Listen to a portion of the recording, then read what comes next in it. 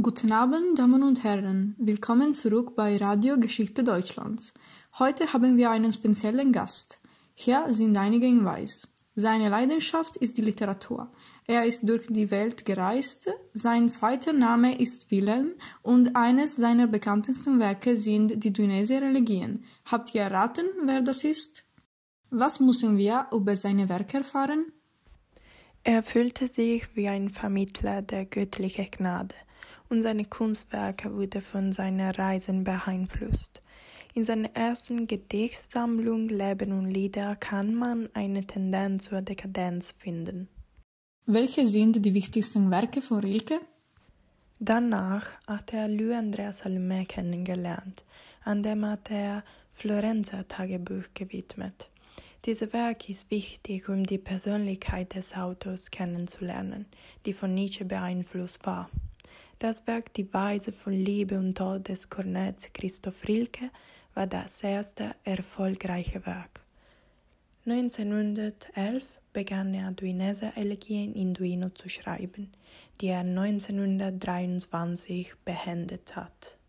Wer hat Rilke auf Reisen getroffen? 1893 kennte Rilke Valerie von David Romfeld, mit dem er eine intensive Bindung hatte.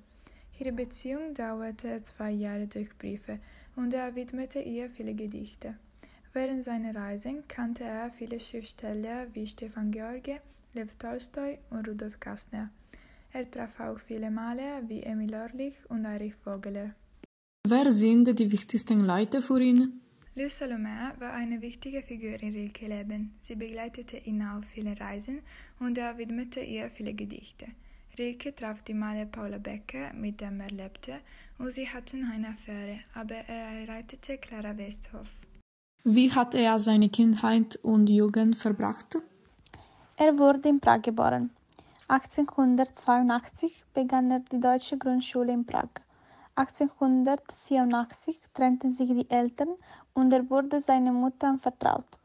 1886 trat er die Militärschule von St. Pölten ein und zu dieser Zeit hatte er angefangen, kurze Gedichte zu schreiben.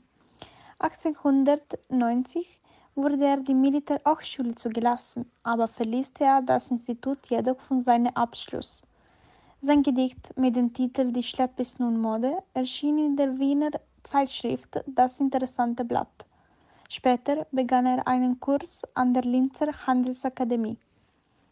Wann hat er angefangen zu reisen? Nachdem er sein Studium unterbrochen hatte, zog er 1896 nach München. Hier begann er sein unruhiges Leben, das sich dazu brachte zu reisen und neue Umgebungen und interessante Persönlichkeiten kennenzulernen. Warum war Reisen so wichtig für ihn? Reisen war oft eine Art Flucht und Komfort. Als seine romantischen Beziehungen scheiterten, wagte er sich auf neue Reisen nach Südeuropa, Afrika und Skandinavien. Außerdem bereitete seine turbulente Kindheit ihm physische und psychologische Beschwerden. Warum war Duino so wichtig für ihn? Wie fand er seinen Aufenthalt in Duino? Rilke fand Inspiration für seine Duinese Elegien während seines Aufenthaltes als Gast der Familie Thurn und Taxis, Fürsten des Heiligen Römischen Reiches. Er führte nach Duino, nachdem die Ehescheidung mit seiner Frau Clara. In einem Brief von März 1912 beklagte er sich über die Einsamkeit und über das schlechte Klima, das seiner Meinung nach schuld an seinem schlechten Gesundheitszustand war. Dieses Jahr bin ich hier zu Gast, im Moment ganz allein in diesem Schloss, das mich ein bisschen wie ein Gefangenen hält. Die ständigen Wechsel von Bora und Scirocco waren nicht gut für seine Nerven, deshalb verlor er viel von seiner Schaffenskraft. Aber Duino war nicht so schlecht für ihn. Rilke sagte, dass in Wirklichkeit seine Krankheit von einem Übel der Seele herrührten, auch von einer tiefen Unruhe. Er konnte sich nicht nur an einem Ort aufhalten. Rainer Maria Rilke wurde 1875 in Prag geboren. Er reiste viel und galt sein Leben lang als ein Heimatloser. In seinen ersten Gedichten zum Ausdruck gebrachtes Gefühl.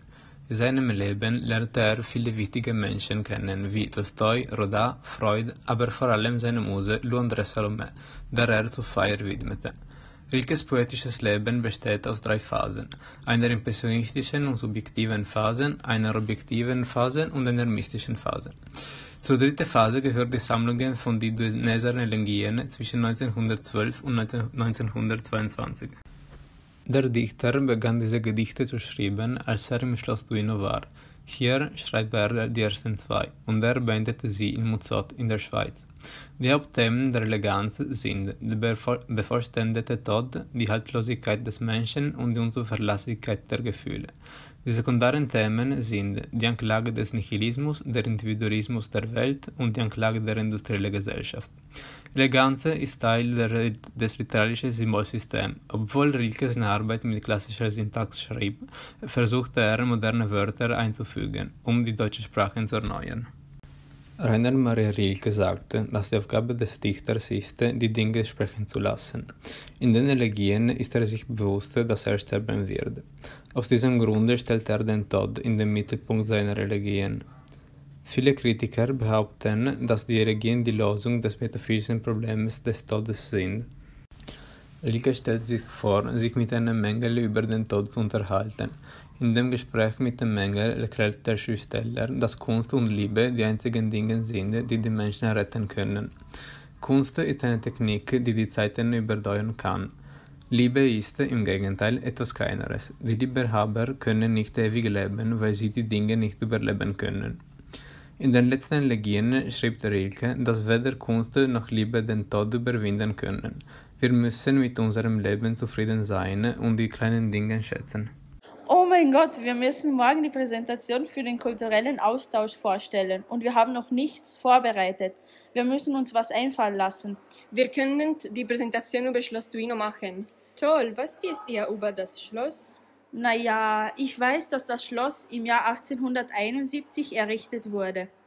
Blödsinn, was sagst du da? Es wurde schon 1389 gebaut und es war gut vier Jahrhunderte lang Sitz der Adelsfamilie Thurn und Taxis. Mehr als 18 Säle des Schlosses sind zugänglich und reich an wertvollen Zeugnissen über die Geschichte der Familie der Fürsten von Thurn und Taxis. Ah, wirklich? Ich weiß, dass das Schloss illustre Gäste beherbergte, wie zum Beispiel Gabriele D'Annunzio, Elisabeth von Österreich, bekannt als Sissi, Franz Ferdinand und auch Rainer Maria Rilke. Ja, Rilke schrieb in Schloss Duino zwei Duinese Legien. Wow, das muss ein sehr berühmtes Schloss gewesen sein. Ist es immer noch? Wüsstet ihr überhaupt, dass das Schloss sich auf einen steilen Felsen zur Küste hin erhebt? Ja, ich wusste es. Ich habe es in einem Artikel gelesen. Im selben Artikel stand, dass neben die, dieser Burg noch die Ruinen der alten Burg, die durch, durch diese neue ersetzt wurde, sichtbar sind. Die Ruinen der Festung von Duino, im Jahr 1139 durch das Patriarchat von Aquileia errichtet, geben einen Überblick über einen Felsen mit Aussicht auf das Meer auch bekannt als der Felsen der Weißen Dame, der eine magische und raffinierte Atmosphäre schafft. Aber ihr wisst so viel. Ich habe nur eine Dokumentation gesehen, die den Schlosspark und den Eingang zu einem Bunker zeigte. Der Bunker wurde 1943 für die deutsche Kriegsmarine erbaut, zur Verteidigung des Stützpunkts Sistiana gegen eine eventuelle Landung der Alliierten. Nicht nur das, es wurde dann als Luftschutzbunker genutzt und später mit einer Kanone ausgestattet. Naja, ich glaube, wir haben alle Informationen und alles, was wir für die Präsentation brauchen. Dann rannen wir weit. Duino ist ein Ort in der Nähe von Triest. Die bekanntesten Sehenswürdigkeiten sind das Schloss Duino und die Kliffküste. Die felsige Küste von Duino umfasst das regionale Naturschutzgebiet, eine der meistbesuchten Stätten im Triestiner Karst. Entlang dieser Kliffküste führt der Rilkeweg, auf man einen angenehmen Spaziergang mit einem atemberaubenden Blick auf die Adria inmitten der Natur machen kann, dort das Grün der Vegetation und das Blau des Meeres aufeinandertreffen. Der Weg wurde zum ersten Mal im Jahr 1922 erstellt. Im Jahr 1987 wurde der Rilkeweg nach einigen Wartungsarbeiten wieder eröffnet. Circa zehn Jahre später wurde die Cliffküste zum Naturschutzgebiet erklärt. Es erstreckte sich auf einer Fläche von 107 Hektar und ist in zwei Teile unterteilt. Das Meer umfasst 63 Hektar des Naturschutzgebietes. Das übrige Gebiet gehört zur Cliffküste. Sowohl im Meer als auch an Land herrscht eine große Biodiversität. Die Pflanzenwelt wird von der mediterranen Macchia geprägt. Das Naturschutzgebiet beherbergt zwei Hauptumgebungen, die Klippen mit Felswänden und Geröll und den flachen Teil auf dem Plateau. Der Teil auf dem Plateau ist kälter, weil dieser Teil dem Bohrawind stärker ausgesetzt ist. Der Wind weht von Nordost. Der Teil der Klippen hingegen ist wärmer, weil dieser Teil sich südlich in Richtung vom Meer befindet und in Lee liegt. In diesen beiden Umgebungen haben sich unterschiedliche Vegetationen entwickelt. Auf den Klippen gibt es eine mediterrane Vegetation. Auf dem Plateau hingegen gibt es einen Schwarzkiefernwald. Die beiden Umgebungen unterschieden sich auch durch die Art des Bodens. Auf dem Plateau behält der Boden mehr Feuchtigkeit als das trockene Gelände der Klippen. Infolgedessen hat das Plateau eine bewaldete Vegetation entwickelt. Auf den Klippen befinden sich die Steinischen, die Philerea, ein kleiner Baum, das Terebinth, ein Strauch und die Maruka. Auf dem Plateau befinden sich die schwarze Hainbuche, der Goldregen, der Ahorn und der Kirschbaum. Um die Natur zu respektieren, wurden eigene Verbote festgelegt, wie zum Beispiel man darf den Rilkeweg nicht mit dem Fahrrad befahren. Es ist strengstens verboten, Wildtiere entlang des Rilkeweges zu stören. Hunde müssen an der Leine gehalten werden. Weiter ist es verboten, jedwede Art von Musik zu machen bzw. laut zu hören. Der Rilkeweg führt von der Bucht von Sistiana bis zum kleinen Hafen von Duino. Die Spaziergänger sollten achtsam sein, denn an einigen Stellen ist er sehr eng. Am Ende des Jahres 2000 wurde ein neuer Weg für gehbehinderte Personen und Rollstuhlfahrer fertiggestellt, der ca. 250 Meter lang ist. Dieser führt von Duino zu einem der neu angelegten Aussichtspunkte. Die Aussichtspunkte befinden sich in der Nähe bzw. gehören zu den Bunkerlagen und Militärposten, die während des Ersten und Zweiten Weltkriegs gebaut wurden. Der Rilkeweg ist nach Rainer Maria Rilke benannt. Da dieser Schriftsteller den Jahren 1911-1912 im Schloss von Duino bei Fürstin Marie von Tours und Taxis zu Gast war. Rilke liebte diesen Ort sehr und fand hier die Inspiration für seine Duineser Elegien. Tatsächlich hatte er den Rilkeweg nie gesehen, denn dieser Pfad existierte während seines Aufenthalts noch nicht, und auch weil er Angst vor der Bohre hatte und diesen Spazierweg nie gegangen wäre. Es wird erzählt, dass man vom Schloss aus manchmal ein paar Schwäne sehen kann. Sie gleiten leicht über den Meeresspiegel, als würden sie tanzen.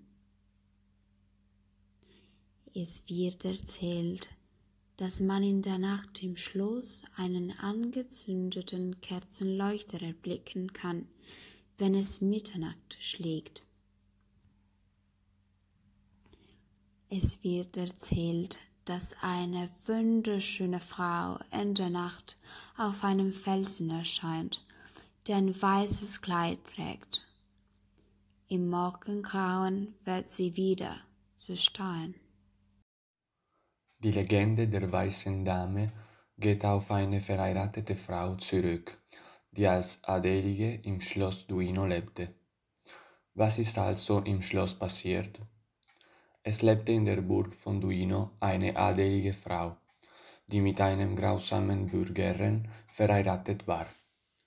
Sie war schön, verliebt und treu, aber er war sehr böse. Jedes Mal, wenn er sein Land verlassen müsste, sperrte er seine Frau in einem Turm des Schlosses ein, damit niemand ihre Schönheit sehen konnte. Eines Tages passierte etwas Tragisches. Der Mann stieß sie aus Eifersucht vom Turm. Die Ruinen der alten Burg von Duino erheben sich auf steilen Klippen hin zum Meer.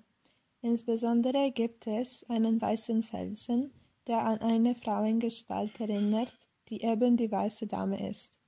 In der Bucht, die von der Burg aus sichtbar ist, kann man auch heute immer noch sehr oft Höckerschwäne sehen. Sie gleiten leicht und elegant auf dem Wasser dahin. Vielleicht tun sie das in Erinnerung an die unglückliche weiße Dame.